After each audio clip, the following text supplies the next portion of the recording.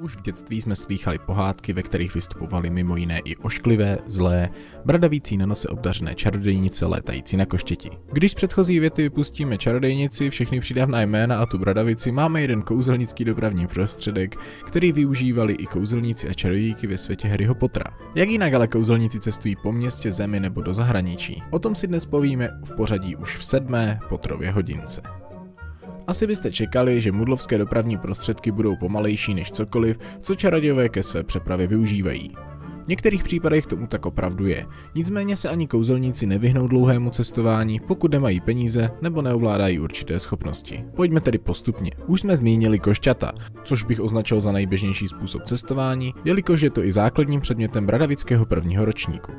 Kouzelníci mají k dispozici na výběr několik značek košťat, z nichž dominuje Nimbus a samozřejmě kulový blesk, které jako závodní košťata využívají i fanfrpáloví profesionálové. Pro cestování jsou ovšem taky vhodné a velmi rychlé, i když kvůli ceně běžněji kouzelníci sahají po košťatech značky Meteor nebo Kometa. Dalším v podstatě jen očarovaným mudlovským předmětem je létající kobec, který je ale zakázáno k cestování používat. Byl totiž uznán jako mudlovský výtvor a není tak povoleno jej k tomuto účelu využívat.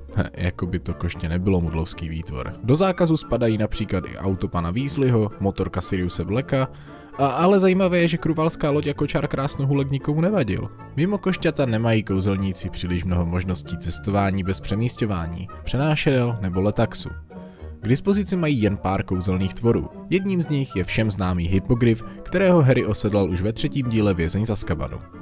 Není úplně snadné si hypogryfy ochočit, nicméně pokud získáte jeho důvěru, tak zjistíte, že je to velmi dobrý a spolehlivý letec a pokud se dobře držíte na jeho hřbetě, nemáte se čeho bát. Ještě trochu lepšími schopnostmi disponuje Testrál, ten má neuvěřitelně dobrý orientační smysl a zanese vás v podstatě kamkoliv bez toho, abyste ho nějak navigovali.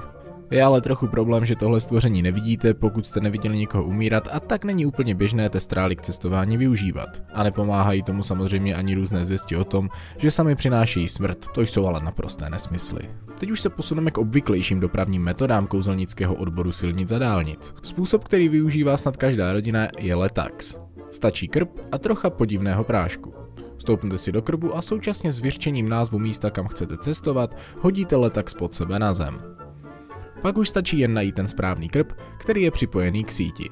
Do mudlovských krbů se obvykle pochopitelně nedostanete. Nejedná se sice o nejpohodlnější, eh, ehm, hlavně nejčistší, způsob dopravy, je ale vhodný pro všechny věkové kategorie a pokud si rodiče nevěří na asistované přemysťování, nemají příliš mnoho možností. Dalším velmi známým způsobem jsou přenášedla, tedy předměty, které jsou učarovány tak, aby všechny, kdo se ho drží v určitý čas, dopravil na určené místo. Za přenášedla se obvykle volí takové věci, které by bundlové měli obejít bez zájmu, používají se staré plechovky, boty a jiné jakoby odhozené věci. Nejčastějším a druhým způsobem cestování, který se díky ministerskému kurzu vyučuje v Bradavicích, je přemysťování. Jde v podstatě o teleportaci, která ale není nějak jednoduchá.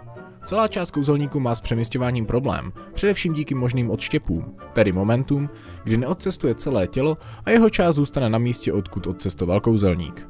Může jít jen o nechty nebo obočí, ale i o polovinu těla. Naštěstí to není smrtelné a stačí pár kouzel a dostanete se z toho. Rozhodně se ale jedná o trapnou a nepříjemnou situaci. Nicméně, pokud tuto techniku zvládáte, můžete bez obav cestovat tam, kde to znáte a samozřejmě tam, kde nejsou mudlové, kteří by něco takového mohli vidět. Pokud ovládnete přemysťování dokonale, můžete přemysťovat někoho společně se sebou. To se může stát ovšem i nedobrovolně. Pokud se vás někdo chytí, když mizíte, bude cestovat s vámi a pokud ho nesetřesete, dostane se na místo, na které jste se rozhodli vydat. Proti přemysťování je ovšem nejjednodušší zabezpečit svůj domov nebo prostě jakékoliv místo. Existují kouzla, která vás na tuto aktivitu v okolí upozorní nebo ji úplně znemožní. Proti tomuto opatření funguje obvykle jen přemysťování domácích skřítků, kteří využívají úplně jinou magii a jsou tak například schopni vás přenést i z podobně zabezpečených míst. Tak co? Který způsob se nejvíce zamlouvá vám? Nebo máte nějaký jiný způsob, který byl tady vynechán? Napište mi to dole do komentáře. Já každopádně doufám, že se vám dnešní video líbilo a pokud ano, budu rád, když tady zanecháte odběr a like na tomto videu. A já doufám, že se společně uvidíme u nějakého dalšího dílu Potrovy hodinky nebo u nějakého jiného pořadu nebo let's play na tomto kanále.